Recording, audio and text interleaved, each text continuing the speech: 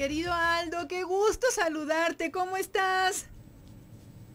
Bueno. Bueno, bueno. Hola Aldo, qué gusto saludarte. Igualmente Leti, ya con ganas de, estar contigo y con todos los radioescuchas. Sí, fíjate que sí, no sabes, fíjate que hay una radioescucha, la señora Esperanza, que tiene muchísimas ganas de contactarte y se estuvo esperando el martes pasado que no pudiste por, tu, por tus exámenes y todos tus compromisos, pero espero que este martes nos esté escuchando porque señora, tome nota porque al final de, esta emisión va a decir Aldo dónde usted lo puede encontrar y todas las personas que quieran también contactar con Aldo. Aldo, el miedo, esta palabra que hoy nos sobrecoge a todos los mexicanos. Así es, Leti y precisamente por eso es, es la idea de, intervenir un poquito en el tema y este poder eh, pues no sé dar dar un poquito de lo que pienso sobre, lo que es el miedo pues mira Leti eh, sabemos nosotros que nuestro cerebrito a veces nos juega malas pasadas una de esas malas pasadas es precisamente el miedo eh, y, fíjate que, tiene una razón de ser. Fíjate que nuestro cerebro tiene una parte que se conoce como el sistema límbico, que es precisamente el que se encarga de, funciones tales como eh, eh, el miedo y sobre todo tiene que ver con la supervivencia. Claro. Cuando una persona siente miedo, sus partes más lógicas y racionales no tienen absolutamente nada que decir. El sistema límbico entra en acción y da dos opciones generalmente, y de esto ya hemos hablado en ocasiones anteriores, nos dice o peleas o corres. No tenemos más. Entonces, eh, este, o, huyes. O lo enfrentas. Sí, o lo enfrentas, pero lo enfrentas en una forma así agresiva. Imagínate que tú te encuentras, digo, por nuestro desarrollo, con un tigre, ¿ok? O corres y tratas de ganarle a ese tigre, o, o sacas fuerzas de flaqueza y te enfrentas a él y tratas de derrotarlo. Entonces realmente nuestro cerebro no, no está funcionando a nivel racional, que eso tiene que ver con las partes este, del córtex frontal, de, la parte frontal de nuestro cerebro, cerca de la frente, eh, eh, que es la que razona y piensa y es la parte ejecutiva, la que hace las programaciones, etc. Ahí no nos da tiempo casi de nada. Desgraciadamente, Leti, eh, por los acontecimientos que se están viviendo en nuestro país, mucha gente está llegando a un estado de miedo. Y eso es el problema precisamente. Porque cuando tú tienes miedo, entonces ¿qué puede suceder? Puede suceder que tú te enfrentes al problema peleando y generando quizás más conflicto, o a lo mejor con ese mismo pleito, con esa misma agresividad, en lugar de aportar a una solución, estás acrecentándolo. O a lo mejor es precisamente lo que algunas personas quieren, hay que tener cuidado con eso también porque es la psicología de las masas, en fin, será otro tema. Y otra es, es este, huir y retraerte del problema y no participar. Y porque digo, a final de cuentas es un problema que nos atañe, son problemas que nos atañen a todos. Como la avestruz, escondes la cabeza y no pasa nada a mi alrededor, ¿verdad? Exactamente. Entonces, si tú te fijas, Leti, ninguna de las dos respuestas que tenemos nosotros, los seres humanos, cuando tenemos miedo, son realmente respuestas favorables para la solución de un problema, salvo que en ello vaya nuestra vida. Ahí sí, cuando te enfrenta, eh, cuando te llega el ratero con un cuchillo en la mano, sí, o corres o peleas. Pero esta no es la situación en particular.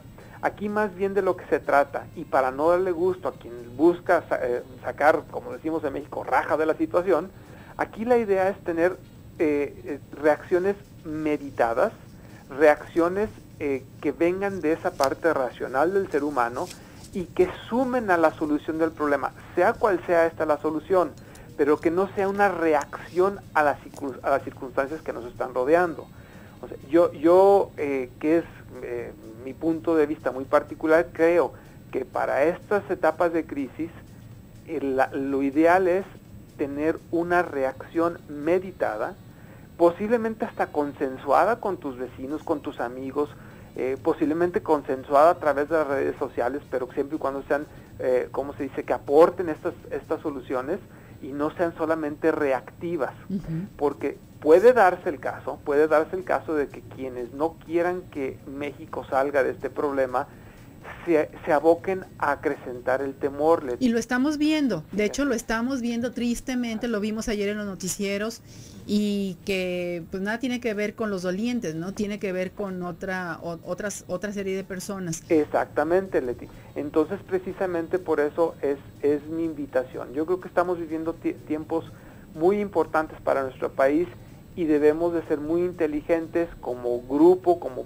pueblo que, eh, unido que debemos de ser, a efecto de tener las soluciones mejores, las soluciones óptimas. Porque si nos quedamos exclusivamente en la parte reactiva, creo que lejos de solucionar esto vamos a salir de ello, pero ya dando un paso hacia atrás. Sí, perdiendo. Exactamente. Y, con el miedo perdemos también. Exactamente. Entonces, Leti, lo, primero es, y lo único es, a lo único que le puedes tener miedo es al miedo mismo de ti. De ahí en más, no debemos de tenerle miedo absolutamente a nada, no solamente porque seamos muy valientes, sino porque es la mejor decisión. Fíjate que, eh, gracias Aldo, porque, bueno, tú sabes que, que, hay cosas que de veras en el corazón a mí, haz de cuenta que me ponen un cohete y quisiera como explotar desde arriba para que todo el mundo me escuchara, ¿no? Sí, sí, sí. Pero, pero sinceramente, eh, siento que como mexicanos debemos otra vez volver a la civilidad, a estas clases de civismo que nos hicieron pararnos firmes y derechos frente a nuestros símbolos patrios, tenerles ese respeto, incluso estando de acuerdo no con las figuras políticas, tenerles el respeto y mm, mm, eh, tratarlos con el respeto que se merece la investidura que llevan, estemos de acuerdo o no, porque así como una como mis hijos pueden estar de acuerdo o no con la orden o lo que yo les estoy pidiendo, imagínate si yo le mando a mis hijos algo y ellos no están de acuerdo y en vez de decirme, mamá, no estoy de acuerdo, me dicen, oye, tú vieja X, no me va a parecer. Entonces, con el respeto que yo quiero que me traten, debo de tratar. Yo también tengo una investidura y una autoridad en mi casa.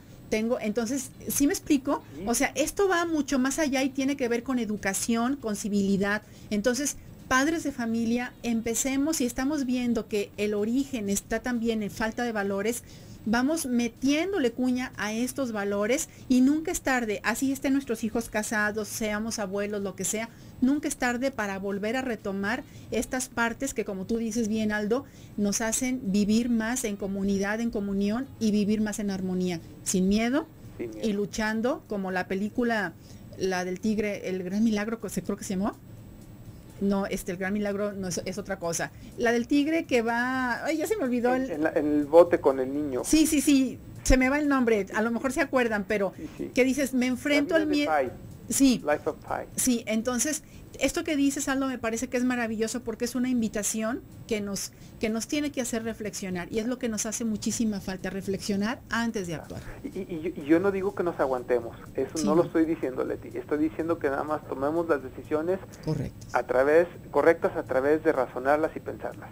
Perfecto, tienes toda la razón, como siempre ya sabes que yo soy tu fan, te apoyo en todo lo que dices y en lo que no también te digo, oye, por esto, por lo otro, pero me encanta porque este es un espacio para reflexionar, para que si no estamos de acuerdo podamos decir y si estamos de acuerdo apoyar. Aldo, ¿dónde pueden encontrarte todas las personas y dónde pueden seguirte de todos los comentarios tan interesantes, tan interesantes, perdón, que siempre nos haces? Claro que sí, Leti. Mira, la forma más fácil es a través del correo electrónico, que es hogarsano, arroba, prodigy.net.mx y también lo pueden hacer a, través del famoso Facebook que es facebook.com diagonal aldo.prieto. Por ahí nos hacemos amigos y platicamos de lo que ustedes gusten. Muchísimas gracias. Un abrazote. Igualmente para ti, gracias por el tema. Gracias. Gracias, queridos amigos, se nos acabó el tiempo. Bueno, tuvimos día riquísimo. Vamos a despedirnos, pero quédense con José Luis y Gaby a continuación en Desde tu mirada. Soy Leticia Orozco de Huerta. Que Dios los bendiga siempre. Los quiero mucho. Bye. No tengan miedo. Luchen por México.